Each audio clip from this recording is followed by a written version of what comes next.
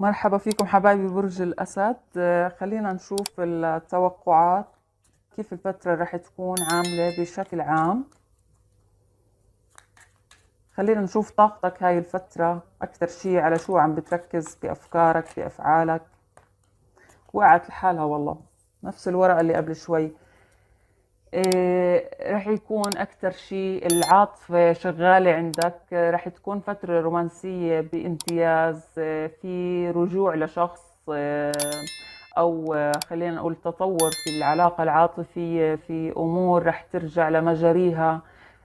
في أكثر من أمنية في الحب عم بتصير. في انتصار في هذا في هاي العلاقة. فهذا الكرت طلع لك عاطفي مع إنه يعني عادة بطلع بشكل عام. خلينا نشوف إذا التوقعات بشكل عام لهاي الفترة للأسد. طبعا هاي قراءة عامة حبايبي ممكن تنطبق على آه، جزء وجزء لا فعادي جدا إذا ما انطبقت عليك. حلو جدا الورق وكتير عجبني. آه، بالنسبة للشهر الماضي ما كان هالقد برج الأسد لكن هاي الفترة أنا شايفيتها رح تكون كتير حلوة. شايفة عندك أول شي تصفية حسابات في أول الأيام من هاي الفترة يعني يمكن تكون أول أسبوع من الفترة اللي قلنا عنها. رح تكون تصفية حسابات في كان صراع بينك وبين أشخاص ولكن عم بشوفك تكون عم بتكون صارم جدا مع هذا آه، الشخص. آه، عم تعطيه اللي هو الدواء. يعني عم عم بتداويه بالطريقة بالتي هي أحسن خلينا نقول. آه، عم تعطيه حجمه عم تعطيه اللي بيستاهله مش أكثر آه، شايفة في تغير بشخصيتك يا برج الأسد؟ عم بتحاول تشتغل على نقاط الضعف اللي عندك إياها والطاقات السلبية اللي جواتك وعم بتحاول تغيرها. يعني كتير حلو إنه أشوف هذا الإشي بالورق نادرا ما بشوفه. إنه عم بتحاول تغير بشخصيتك وعم تنجح. خاصة إنه ورقة برجك يعني كمان مبينة. فكتير عم بشوف في في سعادة عجلة الحظ عم بتكون معك هذا الشهر. فيعني استغلها ما بتعرف بالأشهر اللي بعدها شو رح يصير. فاستغل هاي خلينا نقول عجلة الحظ عم بشوف كمان في هذا الكرت اللي هو عم بتلف اللفة عم حدا ظلمك انت عم تاخد آه، حقك. زي ما قلنا هون في صراعات مع شخص ممكن يكون آه، ظلمك.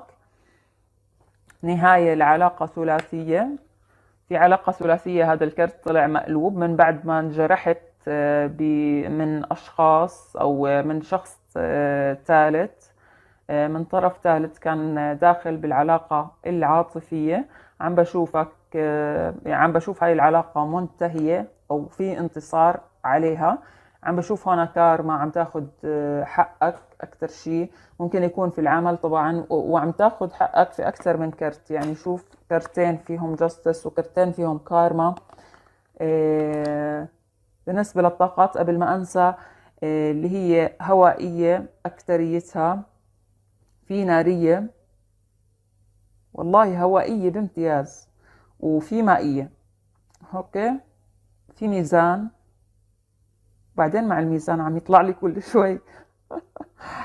في أسد حبايبي. في علاقة شوف ثلاثية مليون في المية رح تنتهي. الكرتين طلعوا مقلوبين. كروت العلاقات الثلاثية. إيه هذا الشخص الشخص الشريك أو خلينا نقول الشريك. عم بيكون عنده بعد نظر عم بيفكر بحياتكم ب خلينا نقول بالخطوات القادمة. هو ما إذا كنتوا أنتم منفصلين أو كذا ما عم بيفكر بصغائر الأمور بالزعل بالبلوك بهاي الأشياء الفاضية.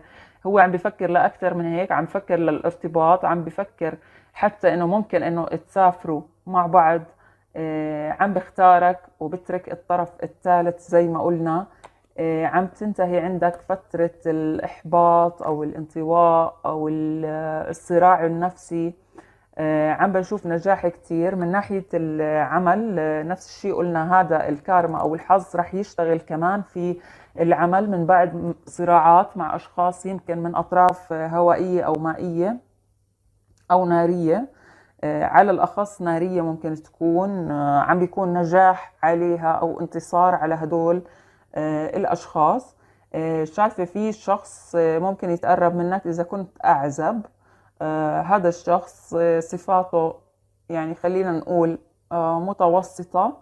آه بالبداية مش هداك الشخص اللي رح يعجبك لكن أنا بحكي لك إنه الشخص الجديد رح يدخل لحياتك. هاي الفترة رح تكون رح يكون آه، آه، خير لإلك.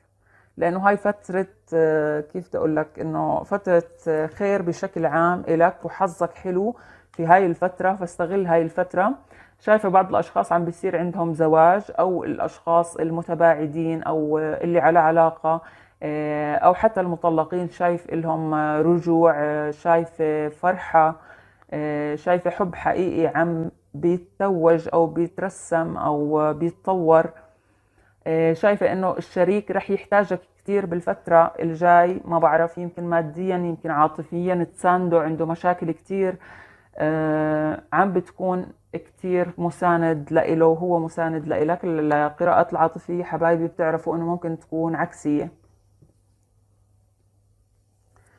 آه إذا أكثر إشي مسيطر على الأسد هاي الفترة الأمور العاطفية وممكن يكون في عنده سفر. آه مبين الأشخاص المصرين على السفر إلهم فترة عم ببين عندي الأسد بده يسافر.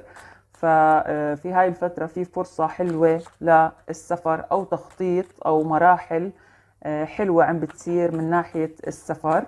آه، الناس اللي عندهم محاكم من برج الأسد عم بيصير في عندهم جاستس عم ياخدوا حقهم والكارما عم ترجع لهم.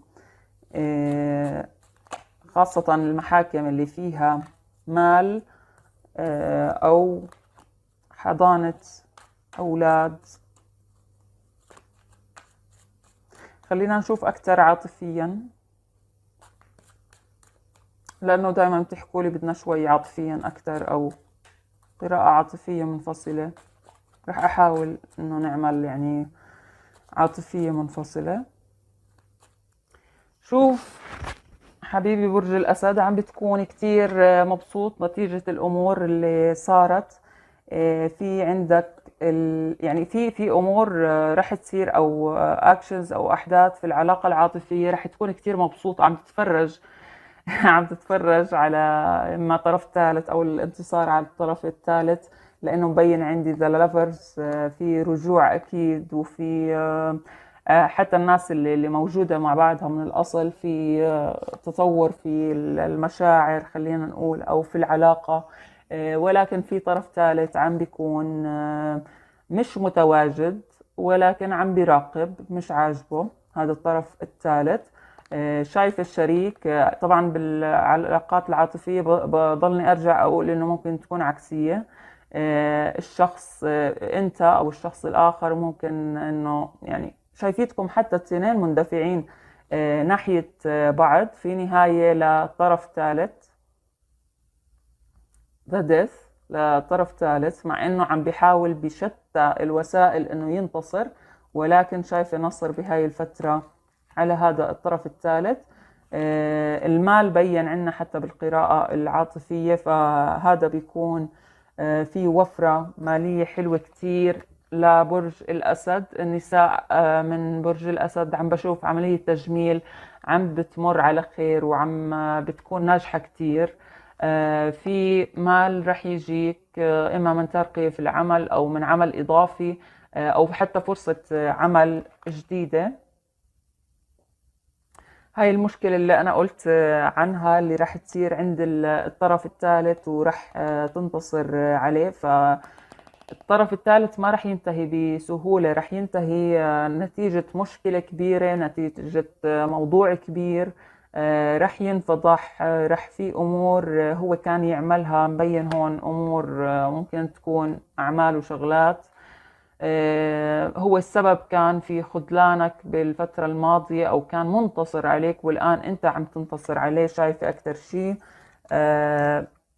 شايفيتك منور مستشفي من الطاقات السلبية آه، فرحان مبسوط منتصر هاي الفترة فكتير ورق حلو لبرج الأسد. إن شاء الله يا رب إنه ينطبق على أكبر عدد. خلينا نشوف إذا في تحذيرات أو شيء بهذا الورق.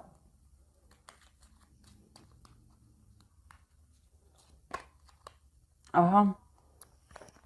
عم بشوفك آه،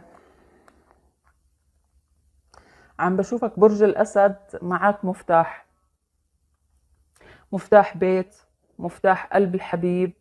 في معك آه، مفتاح معين آه، إما مسكن جديد أنت رح تمتلكه أنا أكثر بشوفه عاطفيا قلب الحبيب أنت معك المفتاح تبعه. فمثل بيقول لك ما تخاف الهواجس أو المخاوف اللي عندك إياها كلياتها يعني تقليد مش أصلي. فما تخاف أنت يعني القلب الحبيب معك وأنت مالكه فما يعني ما تخاف من الأمور اللي عم بتصير لأنها أمور مؤقتة خلينا نقول والحبيب شفته بالورق عم بتغير عم بيحاول إنه يوازن فلا شايفة إنه الأمور العاطفية على أتم وجه.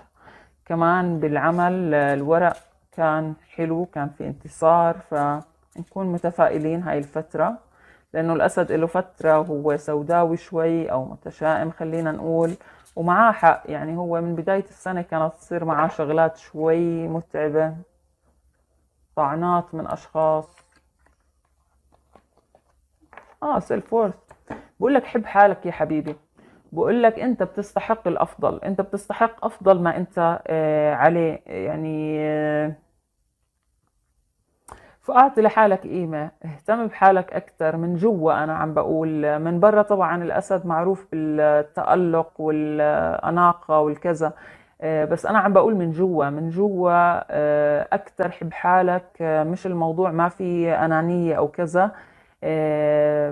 بيقول لك أنت بتستحق الأفضل اختار الأشخاص الأفضل. آه، استغني عن الأشخاص اللي مش اللي هم سامين في حياتك. فحاول تكون آه، عقلاني شوي بكفي آه، يعني نفكر كتير بقلبنا وننسى موضوع العقل. عفوا. آه. في شخص عم بيراقبك كتير بشكل مش طبيعي بحب بشغف آه، عم بيمثل إنه هو ما بده إياك أو بده يبعد أو كذا بس هو عم بيراقب من ورا لورا. فيعني شيء كتير حلو. بقول لك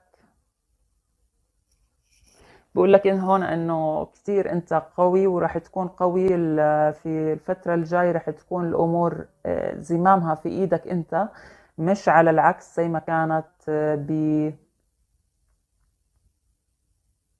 بإيد الأطراف بهاي الفترة راح تكون آه،